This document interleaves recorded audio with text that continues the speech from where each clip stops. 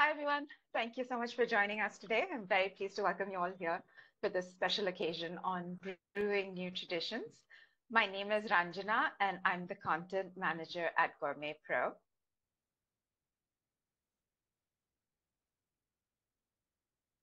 Uh, GourmetPro is a global collective of leading food and drink professionals who can support your end-to-end growth initiatives.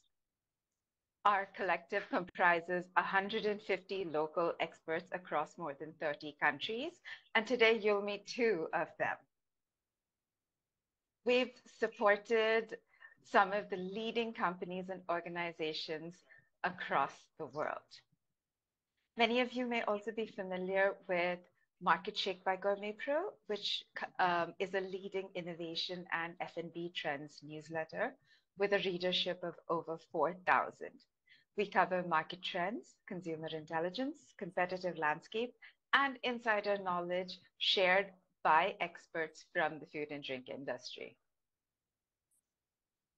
And before we move on to today's topic, I'd just like to announce that we have another fabulous webinar coming up on May 2nd, where another one of our experts will be speaking about the hottest food trends to expect over the next couple of years.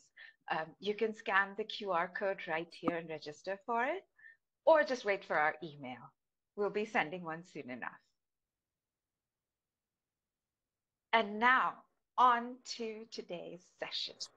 So in this webinar, you'll hear about the coffee market and what's driving it today, some of the most exciting emerging markets, yeah. rituals in, in the context of coffee, and okay, how to develop products. An der Tankstelle die Packstation, die ich dir gezeigt habe. Uh, and Wieso? Du kannst es auch, glaube ich, ohne Account machen. I'm so sorry. Could could I request everyone to mute themselves, please? Sorry. Um, so yes, uh, we will be looking at rituals in the context of coffee and how to develop products and experiences for new sets of consumers. At the end of the presentation, we'll take some questions from you. So please feel free to add in your questions in the chat box and we'll try to answer them all. If for any reason we're not able to get to your question, we'll definitely get you an answer after the event. But um, before we kick things off, let's get to know our experts, Felipe Cabrera and Dr. Raphaëlle O'Connor. Raphaëlle, um, could you kick things off, please, and tell us a bit about yourself and your experience? Yes, thank you. My name is Raphaëlle. I am based in Europe and more specifically in Ireland. And it's a real privilege and honor to be with you today to talk to you about this wonderful um, category, which is coffee, we are going to uh, look at it from a product uh, perspective and ways and means of innovating for this very traditional type of um, occasion. So my experience is very much on the uh, selection of different ingredients, how those can interact with each other, and also from a commercialization and launch perspective, covering pretty much anything from ideation to launch, including life cycle management type of projects. So a real honor and privilege to be here today and introduce you to the wonderful secrets of um, coffee. Thanks, Raphaëlle. Um, Felipe, how about yourself? Yes, hello everyone. Uh, thanks also for being here. Uh, it's an honor also for me to be here, especially to be uh, here with uh, Raphaëlle. So I'm I'm from Colombia. I'm based in China though many years, and I've been in the coffee industry also since 2015 here, mostly in China. And uh, uh, I'm the founder of a consulting company here in China dedicated to the the coffee market itself uh, in a very broad uh, spectrum. Let's say from uh, either um, the um, uh, green beans or the raw products to the production, manufacturing also, uh, creation of the new products, including even localization for packaging and so on, and also creation of coffee shop concept or bakeries, brick and mortar, uh, with my business partner here in China. So we we are like a broad spectrum of all the coffee industry. So um, Uh, that would be uh, the part that we we usually lack is the part of Raphaëlle. So that's why Raphaëlle is uh, here with us also today. Thank you both. So let's get started.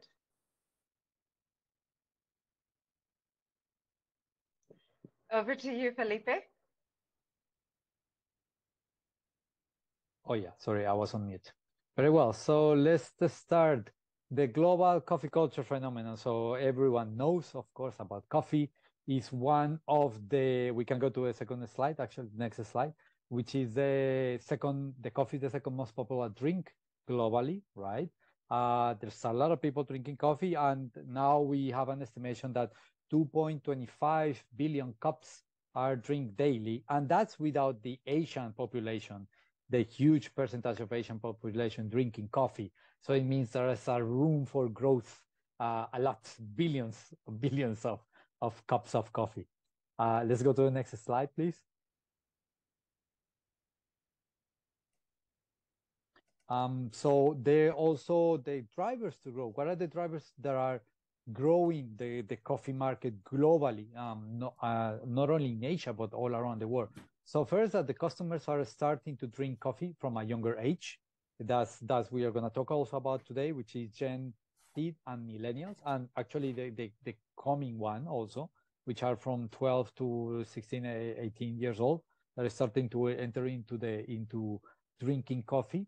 Uh, then we have also a growing popularity in coffee, especially in new markets, which we will talk also about it, um, we, on emerging markets is coffee is more like a lifestyle uh, and an aspirational product, right? And it's also very trendy and versatile, especially with these social media, uh, tech-enabled um, coffee brands and so on that really are really trendy at the moment. Not only in China, but in uh, all, a lot of places around the world, which we will talk about it also. Next slide, please. Um, then we are gonna see a map of uh, of the world and then you see you're gonna see a circle here on the Asia right so um, the growth actually not only in in the in the all around the world but Asia the growth is gonna be huge because uh, nearly 60% of the world's population live there and a lot of that is young people right the median age is 35 years so it means that there is a lot of young people that are really the new target for the for the consumption of coffee. Let's go for the next slide, please.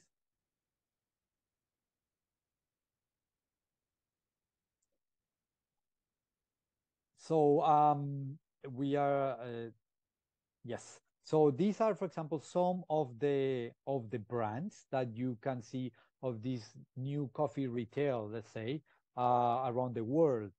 So we can start with China because I'm also based here. So we have Luckin Coffee and Cotti Coffee. Cotti is a revenge coffee brand created by the ousted um, uh, director of uh, Luckin Coffee. And then uh, in a similar way, we have also brands like Flash Coffee, started in Singapore. Now they filed from bankruptcy last year, but they are very strong still in Malaysia, Indonesia, and another uh, Southeastern, Southeast Asian countries. Uh, we have also in Indonesia, Kopi Kenangan. Also is a very new, the is still a new retail coffee brand. Then we have uh, Blue Tokai, which is the the example per excellence in India. Uh, great, great brand. Uh, we have in Romania, so we are gonna go to uh, Eastern Europe, which is again an emerging market for coffee. Uh, is uh, there's a brand called Five to Go in Romania, also very interesting what they are doing, adding also a little bit of food or snacks, very nice packaging to the young generation. Um, and then also we have like in more traditional countries like uh, in the US uh, and in Brazil, for example. So in Brazil we have the coffee, which uh, in the, the for the audience that speaks uh, or can read Japanese, the Sa coffee. So it was created almost like a Japanese coffee brand, but it's actually from Brazil by Brazilians. It's just like a, a little bit of like this uh, uh, Japanese style that they added into the brand. Uh, and they are actually expanding also around Europe and in other countries, not only in Brazil. And um, Blank Street is in the US also. Um, also a, a smaller um, area coffee shops. And this is the trend that we're seeing everyone around. It, uh, it's just mostly a grab and go or just sit there. It's not a third space. Uh, that's the difference between the new retail of coffee brands that is just moving this new coffee culture on the emerging markets, uh, and again, also in the traditional, as, in say, South America and North America. Uh, there's also another brand from India that just opened in Portugal, in Porto, uh, and they are going to have expansion plans. Since today Portugal is one of the key um, markets in Europe uh, for this new trend of uh, coffee to the young generations. So this is an example that not only in emerging markets is happening, that it, but also in uh, more orthodox countries, uh, coffee uh, drinker countries like Europe, right? Western Europe. Um, so Portugal is a very good case study for these new brands, new retail brands that are entering into traditional orthodox uh, coffee drinker uh, countries. Let's go for the next slide, please. Um, then we have, uh, I uh, before we go also to the coffee rituals, uh, maybe I forgot to mention also about the um, Southeast Asia.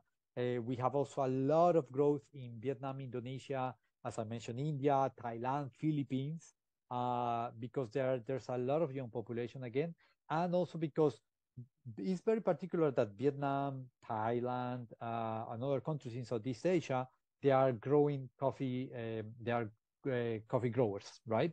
But they usually grow robusta coffee, and now there is a move to because climate change uh, and, and other things. Uh, there is a move on those countries to make robusta more palatable. So they are trying new processing um, ways to have a, a specialty coffee uh, processing from the Arabica into the Robusta, uh, let's say, world of coffee. And that's creating new opportunities for these uh, coffee growers in the Southeast Asia, India, and so on to really expand their, their coffee cultures over there because the people that drink coffee is very bitter. Uh, they add a lot of sugars, and that's the old generation. So they are trying also to change all this. So that's why I wanted to mention so so this Asia uh, on here. And I also I already mentioned Eastern Europe, and I forgot to mention Middle East and North Africa. So so that's a very very strong uh, emerging market, especially so uh, Saudi um, sorry uh, Middle East. Uh, one example of that uh, is Saudi Arabia. Uh, the Public Investment Fund of Saudi Arabia is investing um, 319 million US dollars to support the growth of the national coffee industry by 2030. So it's very similar to what China started to do it 15 years ago, putting a lot of investment, a lot of uh, uh, power behind the development of the of the culture. So for the people that didn't know, Southeast uh, um, Saudi Arabia, they do have coffee uh, on the mountain areas, very similar to like Yemen. They have uh, on that kind of particular regions of the mountainous areas. So it's a very small, small production, but the idea is to grow that. That's why the public investment fund of Saudi Arabia, uh, they are putting a lot of uh, uh, capital on it, right? So as you see, also in, in North Africa, in Morocco, also we have a lot of my emerging market there. So as you see, it's all around the world that is ha happening this. Huh? So it's not only on for specific regions; it's really all around the world. Um, now, coffee rituals. I think the coffee rituals we can pass it to Raphaëlle. Thank you, Felipe. Thank you very much for giving us an overview of the uh, commercial landscape here. And I must say, it is very enlightening for me because here in Europe, we are probably um, a lot more conservative around coffee. And that's why I wanted to introduce our audience to uh, the opportunities around ritual. And what is a ritual? I think all of us would have a different concept of what that means. So we actually went back through the definition and wanted to share it with you. A ritual is a meaningful scripted set of behaviors that are performed before, during, and after an event. And there is usually a very specific desired result in mind. It's also a repeated sequence of meaningful behavior that occur in a very fixed way over time with little variation.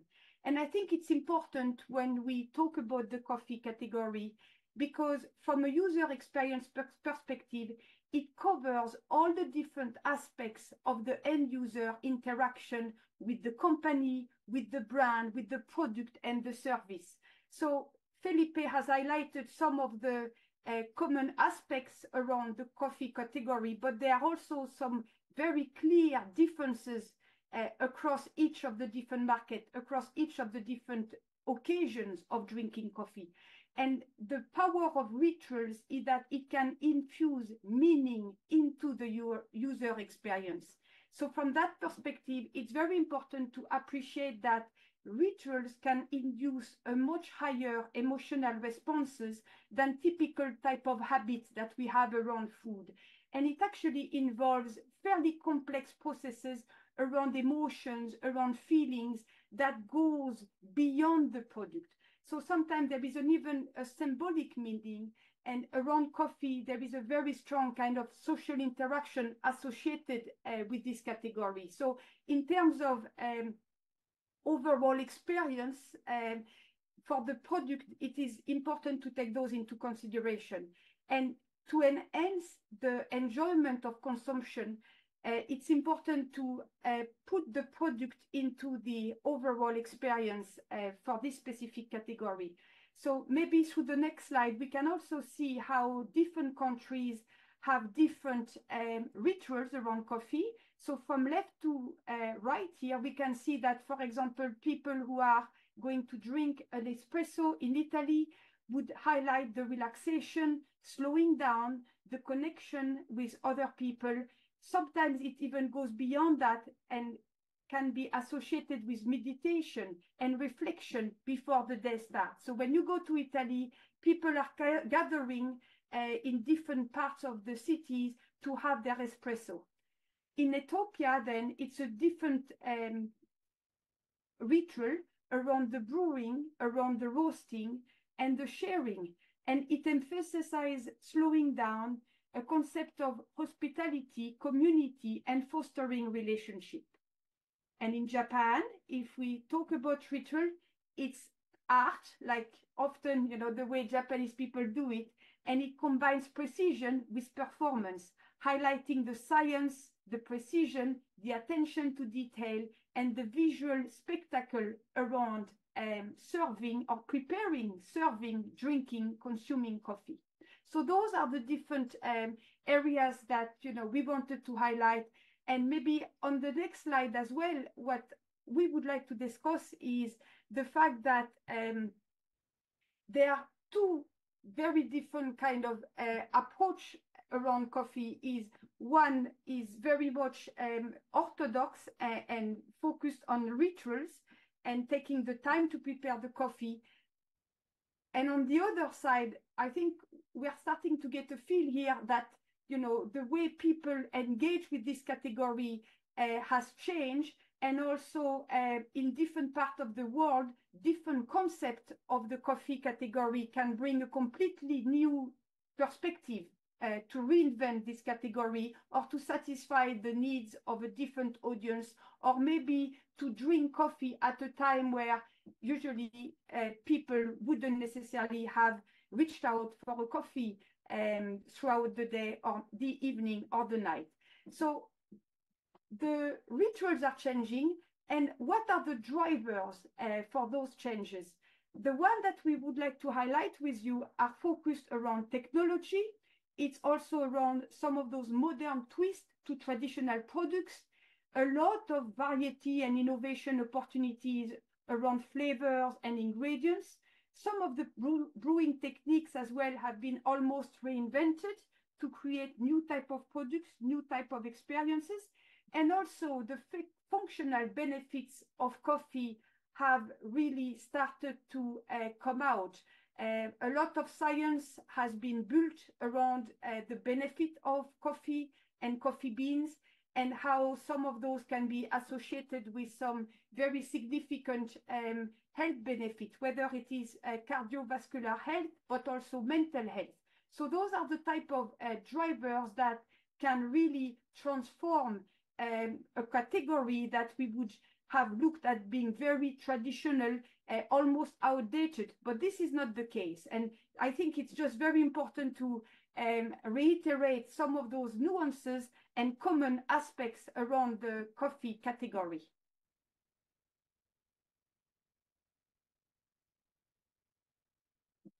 And with this in mind, I think what we are going to go through here briefly is to um, introduce uh, different segments who are engaging with this category. Felipe touched on this earlier, um, where he spoke about the fact that there are um, new uh, consumers who are strongly engaging with coffee. And maybe on the next slide, if you don't mind, um, Ranjana, thank you very much. What we can see here is that usually um, people would associate the coffee category with the Gen X or our baby boomers. They are the people who are, you know, between 44 to maybe 80 years of age and who have a very orthodox and traditional way of engaging with the coffee category. But what we have seen in the most recent years is that uh, millennials, who are the one between 28 to 43 years of age, are actively transforming this category. And the one that we may uh, be surprised about are the Gen Z. They are the one who are 12 to 27 years of age and who are also actively engaging with this category. And not even that, we see 10, 11 year old with our generation alpha and also engaging with this category. So in terms of commercial opportunity, what we want to highlight here is that between the millennials and the Gen Z, we have 52% of the global population. And they are the ones who are really driving innovation, who are reinventing the coffee category. So it's a very different narrative, it's a very different expectation, but it's very important to um, realize that um, this category has been able to adjust to the needs and the lifestyle of a completely new generations. Anything that you would like to add, maybe Felipe, because I'm um, talking about, uh, I suppose, uh, a segment that I think you are very familiar when you speak about those new concepts um, that are emerging throughout the world, new brands. Yes, correct. Thanks uh, for for that, Raphaëlle. So uh, one of those, as I was saying, that these kind of new retail brands and the products that are coming after that is all because of this new new generation, especially the millennials and Gen Z, that they are uh, adding drinking coffee almost not as a beverage itself, but as a product. And a, a part of the beverage is not a coffee, but it's a, a beverage with coffee, right? Uh, that's that's what they are kind of creating and and the changing.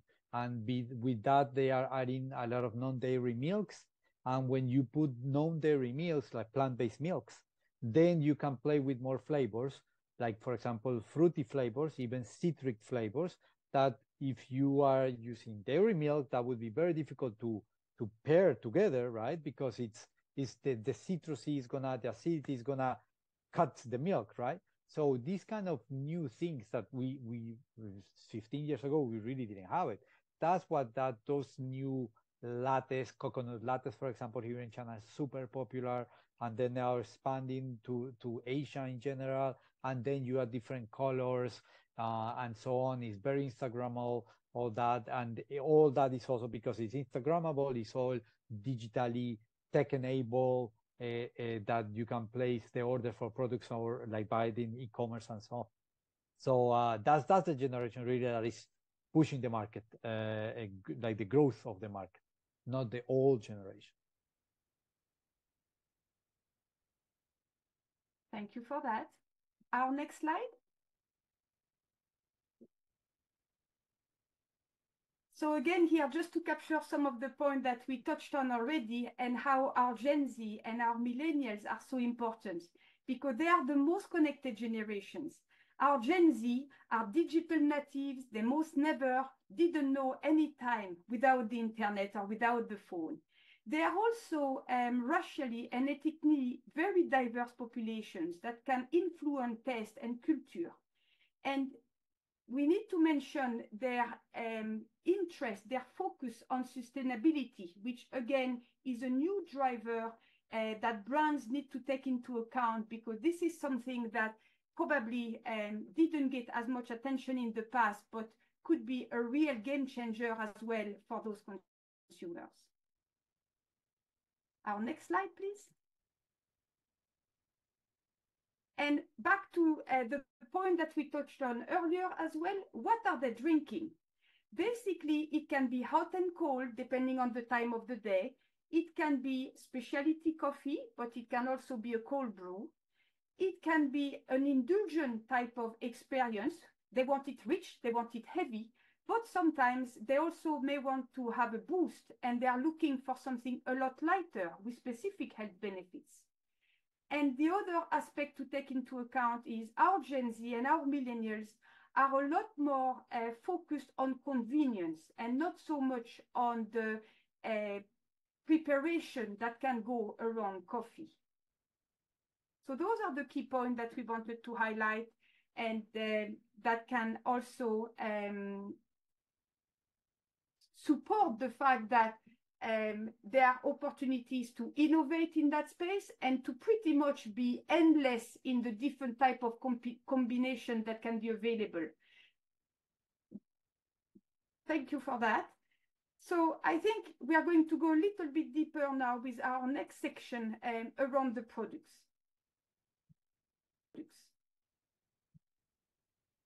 So certainly um, what we have already um, seen is that we have our coffee beans, uh, Robusta uh, or Arabica, and they play a very important role into um, the preparation of the coffee. Sorry, the next slide, please, Ranjana. Yes. So we have our beans, and there is an awful lot of uh, process and step that needs to go into processing those beans. And then from that, we can add uh, multiple different um, ingredients, maybe around the milk or the milk alternative, around flavors, around color, around texture with the foam and with the liquid itself.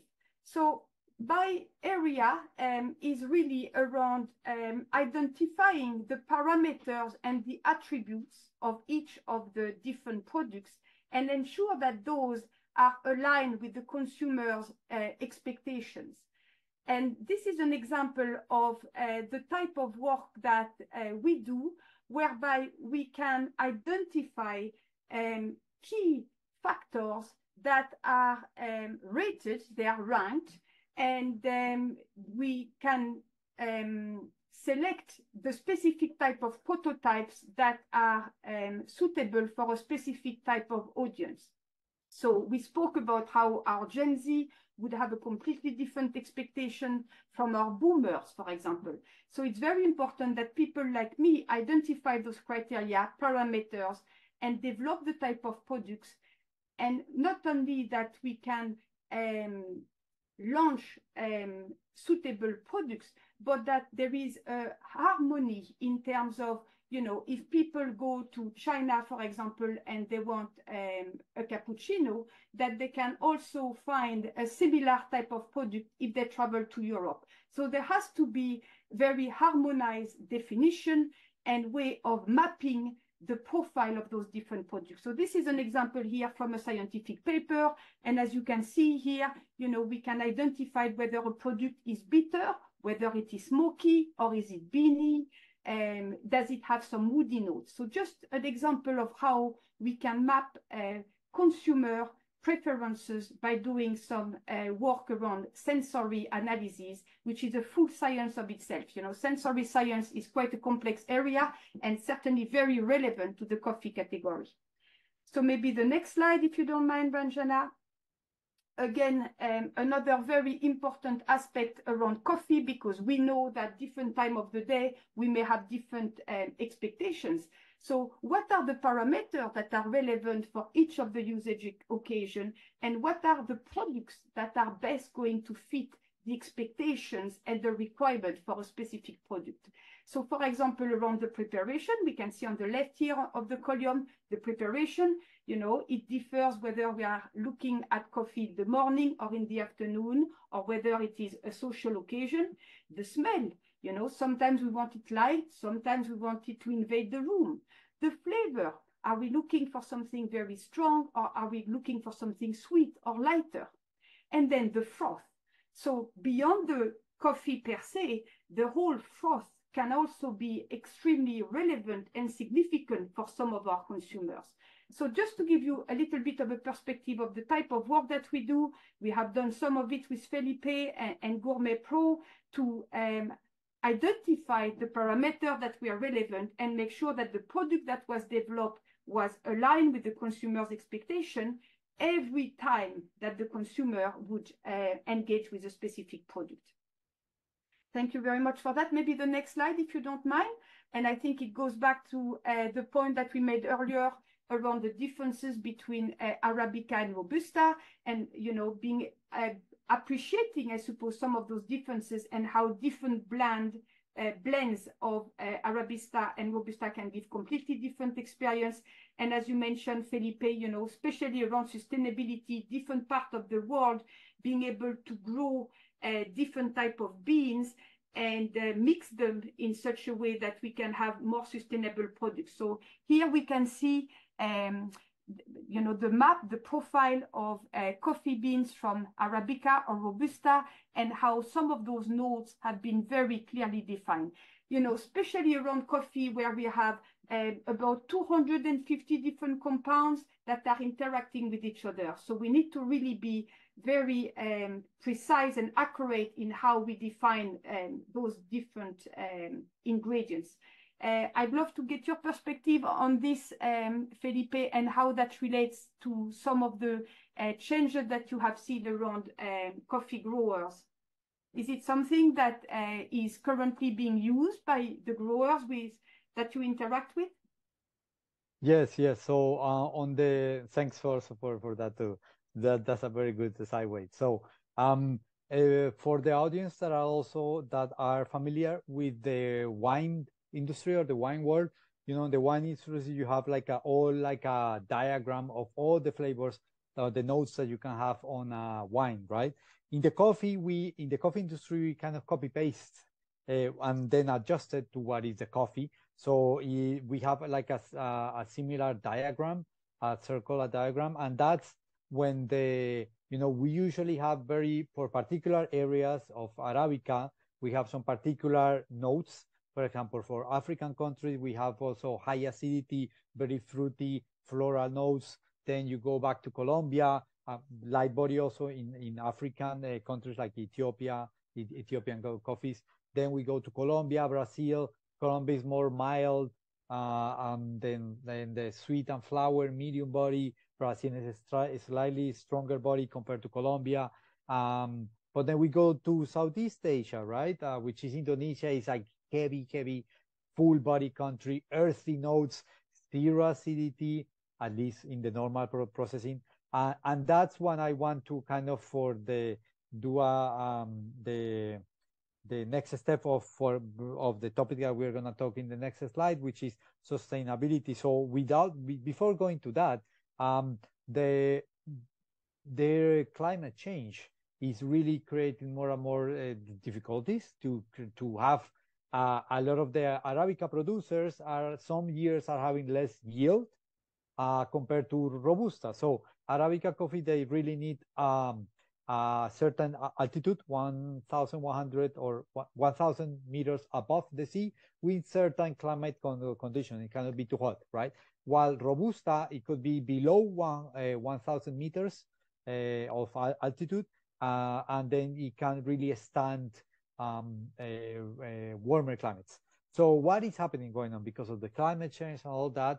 Uh, there are a lot of coffee producers, like for example Colombia uh, or Vietnam, that they are they say, okay, how can we produce coffees that are similar in the flavor notes to Arabica, without being Arabica, just being Robusta, right? Uh, so they are uh, from the specialty coffee world. Uh, there are a lot of different processings, which are um, natural processing, anaerobic processing that adds a, a, a carbon ma maceration. There are some processes that are copied from the wine industry, and they are playing with these very highly technical processes to process Robusta coffees. And those robusta coffees are having a palate, uh, taste notes that are almost as uh, Arabica, but they are sold on a cheaper price than an Arabica. We have a Robusta, we have an Arabica, and they are selling right in the middle or slightly higher than the middle. So those uh, new things, because it's just new, this happening uh, one year ago or something like that, is really um, uh, empowering uh, coffee farmers and, and, and also uh, coffee producers that are really fighting the climate change. For example, Colombia is also doing that. So it's really sustainability, the climate change is really pushing uh, uh, how we're going to have more yields on coffee. Uh, Robusta, if it's not, if Arabica is not enough, then we need to adapt the Robusta, right? To also to the market for the Arabica. So, uh, and specialty coffees are also a key part on the Arabica. And all that is trying to say, how can we do it to keep uh, this one of the questions that on, on the on the chat was they were asking about that. How can we keep the pace with the growth on the on the on the world? Uh, and this would be one of those steps. Is just creating new ways uh, like that. Uh, for example, Japan. I think the south of Japan is also playing with uh, coffee growing. Uh, and if this kind of robustas new processing is successful, probably countries like the US can copy it in the south regions of California and other mountainous uh, south regions of the country. So many countries that are not coffee producers might be in the future co coffee producers. So that's that's something that is really we are in the in the in the industry all struggling to keep up and pace up the, the production and the yields to satisfy the, the growth of the of the coffee uh, global trend. Uh, let's go to the next slide. Um, then we are going to talk a little bit more about the new experiences. So we are talking about the products before, we are talking about the generation, what are the generation, what are the target customers, right? The generation C and millennials. And then, so what are all these things creating as experience, right? Um, so uh, to explain a little bit uh, to the audience, we, in the coffee world, we talk about the evolution of the coffee into uh, five different uh, waves. It was before four, now we can address a, a fifth one. So uh, the first one was the, the coffee after the Second World War. Uh, uh, the, in the 50s, everyone was drinking instant ground coffee, right, in canisters. Uh, everyone is, is the old generation were very familiar with that. then we have the second wave, which is the branded chains like Starbucks. So they introduced to the world really what is having an espresso, an americano, a latte, because those kind of drinks there were not really global. It was mostly to Italy, and then these brands uh, expanded this all around the world.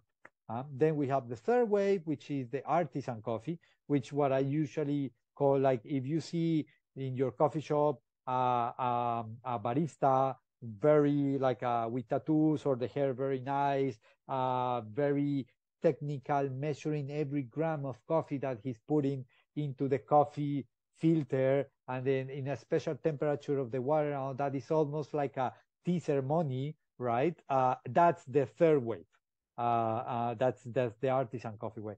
But then on the fourth wave, we enter into okay, how can that third way develop into a and a more scientific methods, right? a more customization of the roasting, playing with dif different processing methods or roasting methods or even brewing methods, right? So it becomes more and more scientific per se. And also even how we can get more influence from other industries.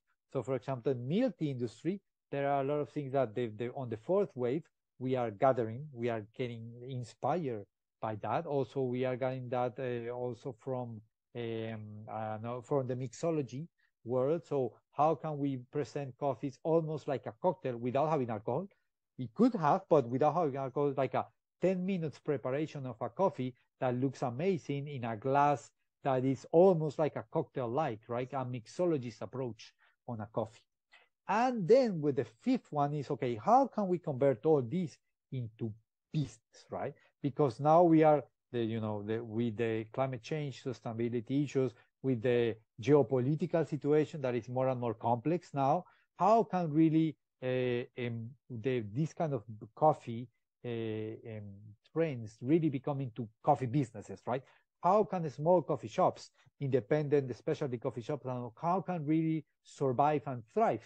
How can instead of being one small store can really drive into like a concept, a strong coffee concept, right? So that's what the, the fifth way is it, right? So we have examples of this uh, uh, uh, here in China. Sorry about being too China focused. I live here. I have taken these photos here. So one of those on the first top slide, you see a cup of coffee called Aloha Coffee. That's a Chinese brand created by a, a Champuchin barista here. And those uh, straws that you see on the top of that thick uh, sour cream um, milk foam, you have some straws there that are, that is saffron. So it's a very unique thing that they are creating for the market, a very particular flavor, like cheesy like uh, foam with some saffron, and below that is a, a, a, a coffee uh, blend that is very unique, uh, light citrusy. Uh, so it's, it's quite uh, interesting. Uh, then you have below the normal one, which it could be for a, a warm season, like I say, holidays, you know, uh, uh, winters, which is has some cinnamon and all that, which that's more like a, um, would say, a kind of normal presentation, right? And then we have example of what Luckin Coffee is doing in China, which is a, a, a fully automatic co coffee machines.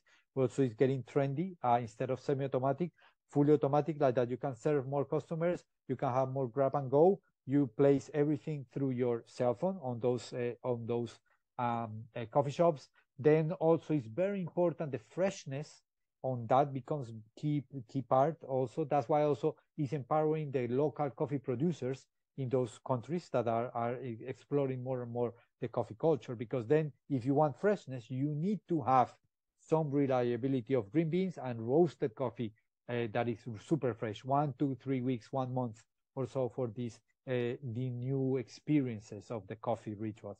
Uh, and then on the last uh, on the on the photo on the right you see a huge coffee shop that has a, a roasters uh, eh, coffee roasting machines from Korea by the way this brand is this roasting brand is from Korea in China the store is in China. So it's really like a, it looks more like a museum for coffee, to be honest. That's the new experience that the, that the new generation are looking for, like uh, different flavors in the coffee, very Instagram, so, social media like, and the inside the environment, it should be also very warm, a very different from what we used to experience in the orthodox co coffee drinker countries. Uh, let's go for the next slide because I want to do a little bit faster. So give some people, uh, give more, uh, give people uh, some opportunities to ask questions. Uh, so let's go, please. Uh, we have some uh, products that you you will see, which are coffee rituals that are developing into products. So liquid espresso coffee shots that are very popular here in China, in Japan, in, in East Asia, in some countries. I'm not sure how popular are outside Asia. Uh, also, it's like a liquid, uh, slowly cold brewing to really create some thick coffees. And also, those thick coffees, you can use it with hot, cold uh, milk or water or whatever you want to mix. And because of that, also you can play with fruity flavors, as I was putting that on the on the espresso liquid shot. You have a, a orange cold American uh, so that's an example of it. Then also because we are talking about other products that are based on plant-based milks, then you have coconut uh, lattes that are cold, that are like a re ready to to uh, RTD uh, products, right? Uh, it could be in vending machines and so on. Then also you have on uh, brick and mortar stores. Example of this would be a pandan eh, cold eh, coconut latte. So you have latte espresso shot espresso shot, a latte a layer, and then in the bottom you have pandan extraction, which is a very Southeast Asian uh, leaf that has a, that kind of green color. It's a little bit sweet. Uh, it's also very good for health benefits. And then on the other one, we have like uh, a, a freeze-dried instant coffee. Then uh, you're probably gonna ask, but freeze freeze-dried coffee, instant coffee is nothing new. Well, this one is new first because it's inspired by a Chinese pharmaceutical industry because in China they use a lot of old ways to create Chinese medicine. So they have ways of um, uh, creating liquid and evaporation and, and concentration of those products to create a, a, um, a, medicine that is poured into water and then you can drink it. It's different from the Western approach that we have the medicine, which is a pill. So the Chinese industry copied that way of processing uh, the ingredients to create really good coffees, specialty coffees that you can really create into instant coffee and you have all the flavors into really one instant uh, freeze-dried uh, pro processed product. And then below that, you see that those capsules that they are using, they are putting into also sustainable uh, packaging, which is cardboard that are cut and then created, uh, put holes, and then just created as a package itself. So they are really all these new rituals or these new ways of drinking coffee for by and for the new generations are really creating products that are are the the trend later, right? So this is an example of that. Let's continue, please. Um, sorry, by the way, Ra Raphaëlle, if you want to, if anyone wants to jump, uh, Ranjana, Raphaëlle, please let me know. Yeah. Um, no, I just wanted to, sorry, Raphaëlle, before, um, um, I just wanted to remind everyone, please, please do add in your questions into the chat. We have just 13 minutes left for the um, session. So we'd like to get to questions. So right, right now is the time. Back to you, Raphaëlle. Yeah. Yeah, just want to highlight how this really um, explains very well how everything seems to be possible, right? And even looking uh, at other industries like the pharma industry to uh, bring some of those new concepts. And, you know, we know that coffee has been associated with health benefit, but the way we prepare and consume can also be learn from other uh, sectors, right? So thanks for going through that uh, with us. And I think, you know, we can really see here how uh, different ingredients can really disrupt and transform uh, the way coffee looks and tastes and is prepared. So thanks for taking the time to go through that with us. Thanks. Let's go two slides uh, further. I want to create uh, the next one, please. Uh, otherwise, we're not going to have enough time for questions. So I prefer questions, uh, even though uh, I don't finish all, all, all, the slides. This is an example uh, of the environment, the new, the what are the new retailers creating the environments. So this new generation are looking for environments like like this.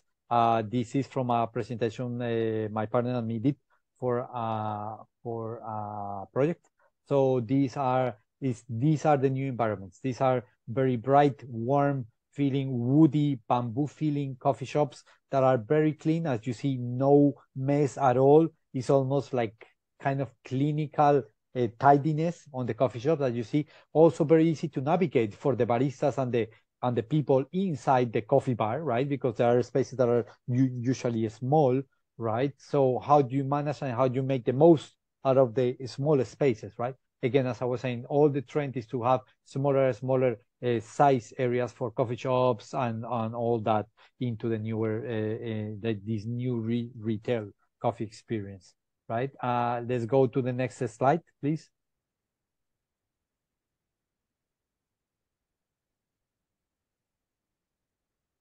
Yeah, yeah, I have a little bit delayed. Yeah, so then let's jump into neo-futurism, right? This the impact of the co coffee rituals.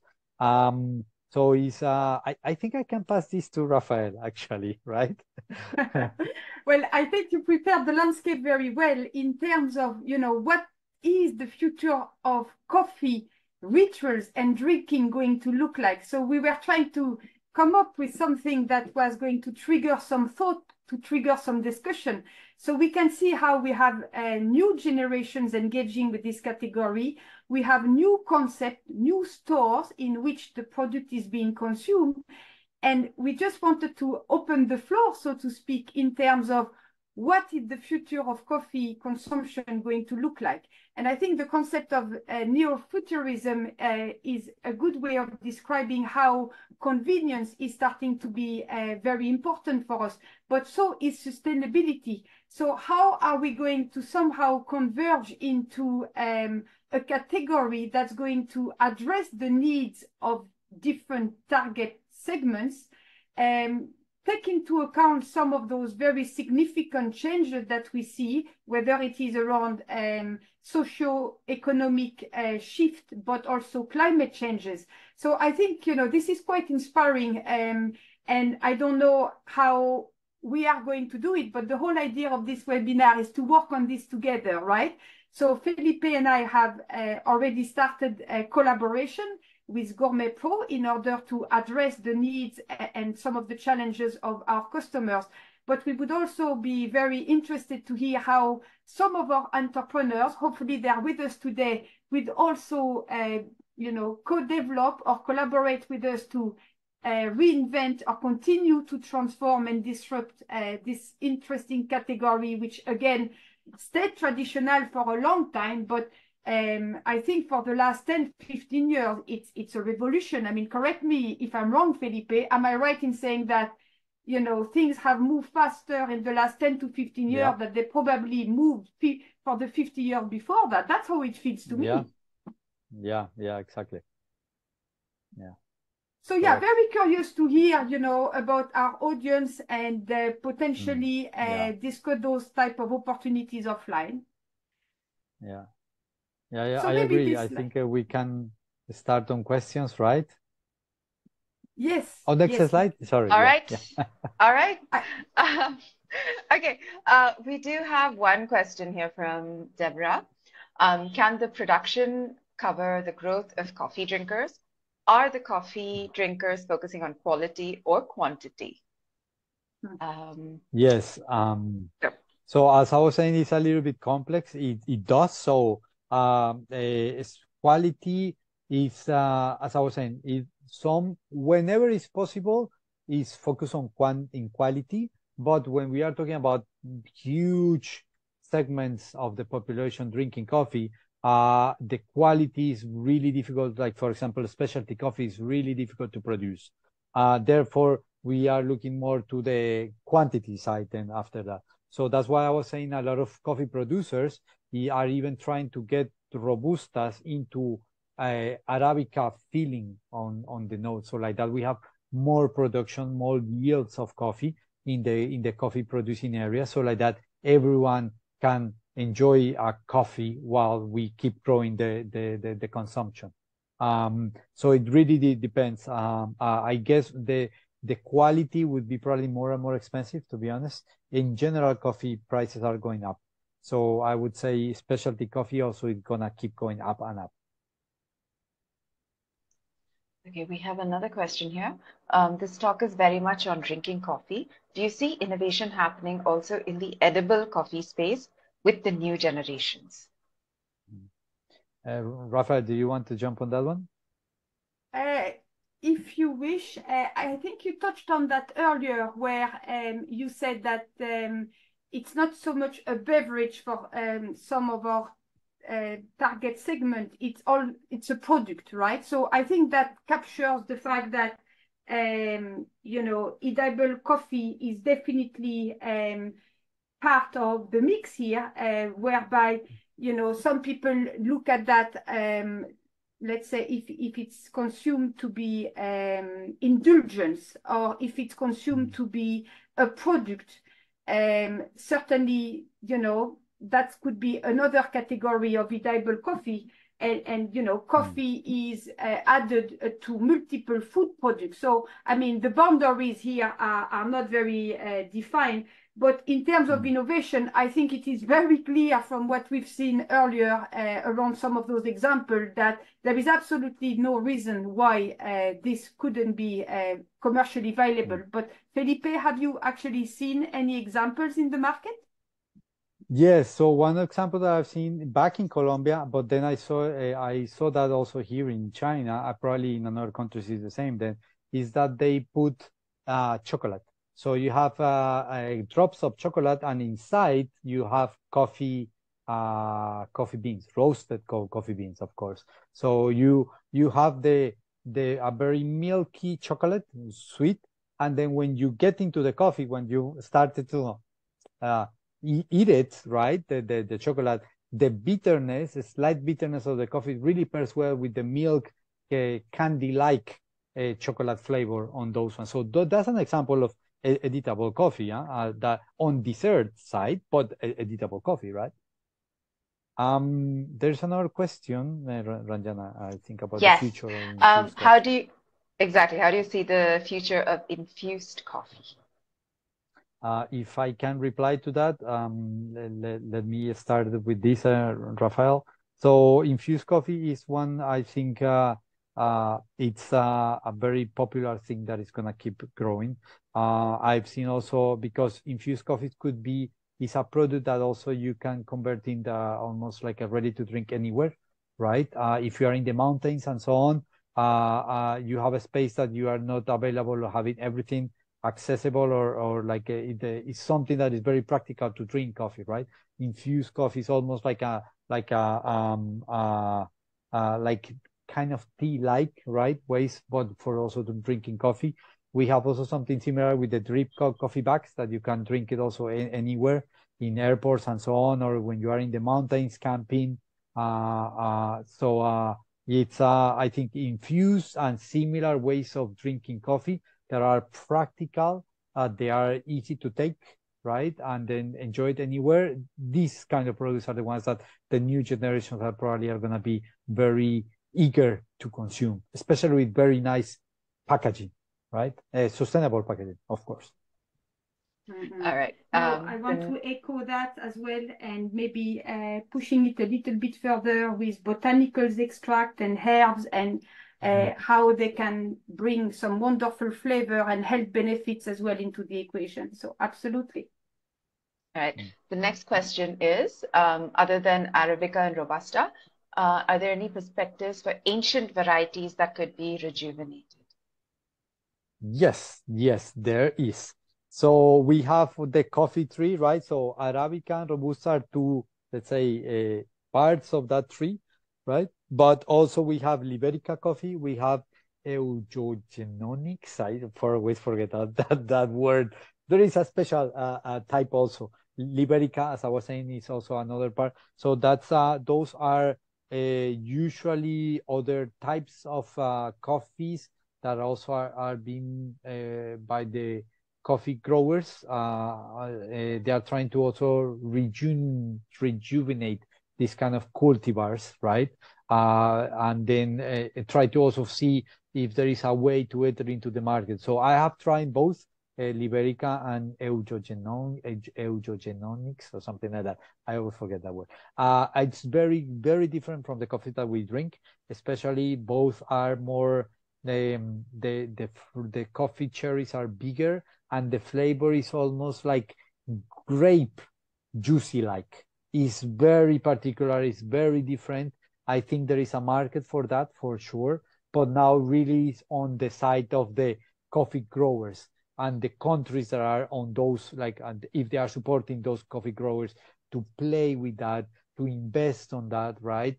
Uh, see if some of those kind of varieties also play better with the, the climate change, right? So that's a lot of research and investment that the world really needs to put into that to have these these reju rejuven rejuvenations of this kind of uh, old or uh, uh, not traditional coffee beans. Okay, we have one final question. We are going slightly above time, but I think that's okay. Um, that's coffee upcycling. Uh, what do you see in terms of coffee waste being utilized? Do you see commercialization or growth of such products from a sustainability perspective? Uh, uh, Raphaëlle, can I go first on this one, please, also? All right. So um, this is something that is really happening as very strong as seen all around the world, including China. And that is on the coffee packs. Like after you make an espresso, you have some coffee like the grounds that are pressed, right? We call call we call that professionally pucks, I think. P U C K. Uh, and then a lot of uh, one example of what you can use on that is like you uh, use that as a part of a material to create a, a plastic injection or, or polymeters to create things like it's not this, but it's like, for example, similar to cup, cups, uh, chairs, uh, uh, uh tables, forks, etc. So many products that are related also to the food and beverage industry. that's one way to do it. Uh, the other one is also, uh, um, for example, there is an Australian company that they create compostable. Uh, uh they create they convert trash uh, like wet trash and food or, or, organic trash into compostable that they can sell as a or organic fertilizer. And I've seen here in China at least that they're using this kind of this company is using coffee cups, uh, uh, pucks, sorry, the like the the, the grounds after use to add into the the mix that is uh, slowly combusting into creating that that fertilizer because that has a very good content of carbon on it the, the, the coffee. So it really helps into this compostable becoming the organic uh, uh, wastage into fertilizer. So those kinds of ways are doing it. So they put that into a special bags uh, that are later taken by uh, the, the, delivery uh, drivers, like drivers or, or, or delivery um, services into these kind of facilities that could be inside farms, organic farms and so on. And that really produce organic fertilizer that are first is a good way to use those those residues on the coffee industry, but also is a good way to give back, right? The fertilizer can use again in coffee producing areas to fertilize uh, specialty coffee or organic uh, uh, coffees and so on. So it's really like how I, have seen many ways to to keep keep doing this. So it's it's very interesting, and there is a, a lot of room to invent new things on that. Uh, Raphaëlle, I'm good, thank you. I don't think I'll be able to keep up with you. Thank you so much. right. Okay. Um, um, can I can I do one last question? Do we have time? Do both of you have time for that? All right. This is from Catherine.